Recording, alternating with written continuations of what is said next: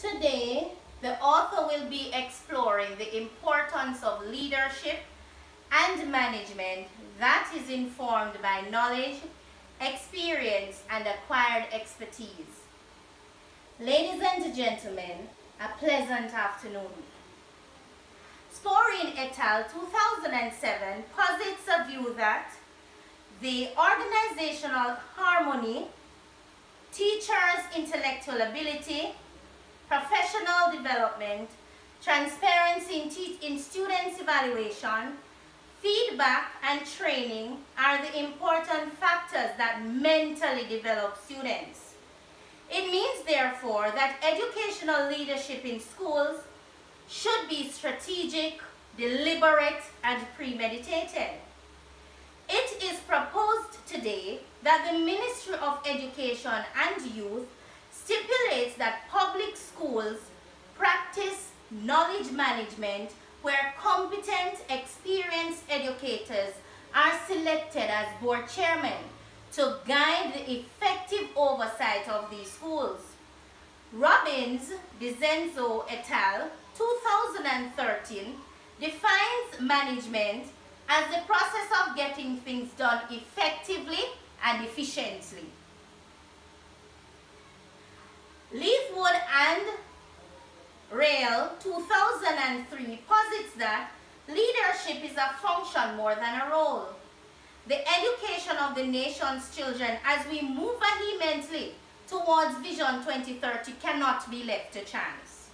In order for us to realize this vision, the boards of public schools must recognize the importance and engage in knowledge management and leadership as a calculated strategy that will positively impact the ethos and culture of schools. O'Dell and Grayson, 1998, believe that knowledge management is a strategy to be developed in a firm to ensure that knowledge reaches the right person at the right time. To learn well, students need access to high quality instruction and a well-crafted curriculum. After that, they benefit much from a positive, from the positive effect of strong school leadership. Who better to offer this than persons with formal training and vested interest in the field of education. The value of knowledge is increased when it has a key purpose and focuses on a mission, core values and strategic priorities. To quote Habart et 2002, cited by Debowski 2006, states that effective organizations rely on leadership rather than leaders. The role of knowledge leadership is to provide strategic vision, motivate others, effective communication, act as a change agent, coach others around, mold good practices, and carry out the knowledge agenda. The effective oversight and management of schools will foster improved teaching and learning and staff motivation. Dictionary.com defines oversight as the active supervision given to accomplish a purpose, producing the intended and expected results. Therefore, effective oversight and management is the primary responsibility of corporate boards and directors. They should engage, monitor, and when necessary, replace company management. The central criticism of many modern public company boards have been their failure to engage in this kind of active management oversight that results in more effective corporate performance. Bagot, Prairie, and Elson, 1999. Our conclusion from this evidence as a whole is that leadership has very significant effect on the quality of school, organization, and the pupils' learning. As far as we are aware, there is not, not one single documented case of a school successfully turning around its pupils' achievement trajectory in the absence of talented leadership. Human resources are the most important among the resources owned by any organization. The entire success of an organization in, is based on how managers keep its employees motivated. Danish and Usman, 2010. Experienced educated educators are best suited for the position of school board chairman. Experts differ from novices in that experts have a great number of concepts available.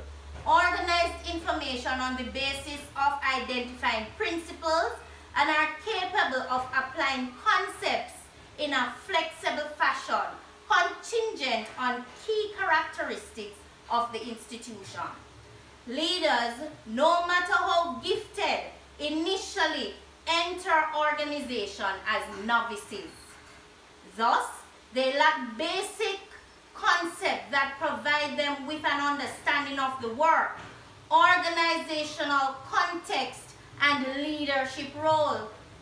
Experience is the key to the practitioner's skills. And until a manager learns from his own first-hand experience on the job how to take action and how to gain the willing cooperation of others in achieving desired results, he is not likely to advance very far up the managerial ladder. Livingston, 1971. Knowledge and experience as an educator does not guarantee effective management. One troubling development is what appeared to be the increasing impatient with political division on school boards, allowing the campaign mentality to tarnish relationships at the cost of students, teachers, and parents. This is never good governance. This is never good governance. However, school boards provide a crucial link between public values and professional expertise.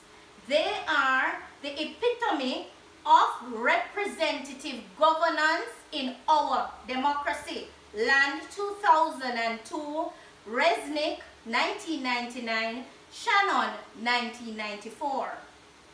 Ineffective governance is often the byproduct of what we call school board dysfunction. The institution, the situation in which board members lacking in organization, leadership, and an understanding of their role diminish a board's capacity for good decision making and strong educational leadership. Mans 2015. He posits further that a dysfunctional board can mean years of stalled progress on improving schools. It is time that the Ministry of Education and Youth stipulates that public schools practice knowledge management, where competent, experienced educators are selected as board chairman to guide the effective oversight of these schools. This would improve the teacher performance and the overall ethos of the schools. I am passionate about people. I've spent my life in advocacy. People matter. Whether or not we agree on the issue, people matter. So posit, posits Anne-Marie Burkle. Thank you for listening. Good afternoon.